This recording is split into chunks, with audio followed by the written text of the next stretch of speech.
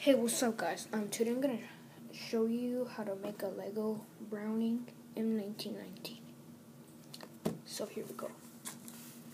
You'll need this camera piece and also this piece and put it on top of the camera piece. Or, you know, if it's bitten or something like this one, because, you know, you can always switch to a new one.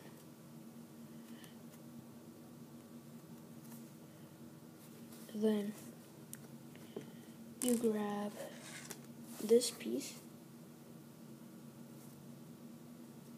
and put it right over there. Then you grab a black lightsaber piece, then put it in like this. Then grab these two handles and put them at the side so that you can make a bipod. Once that is done,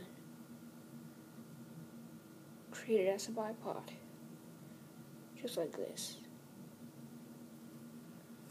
Then, you also want to have a chain.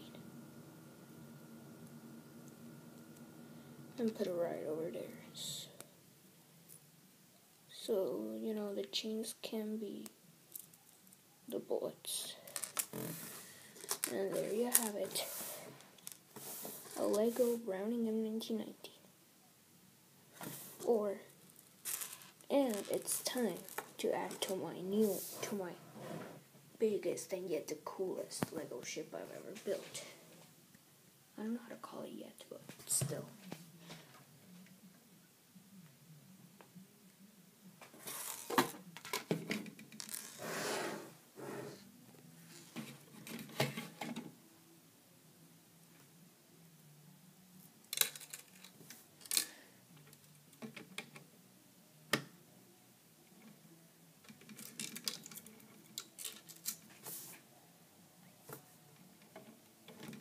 Yeah, and some testing.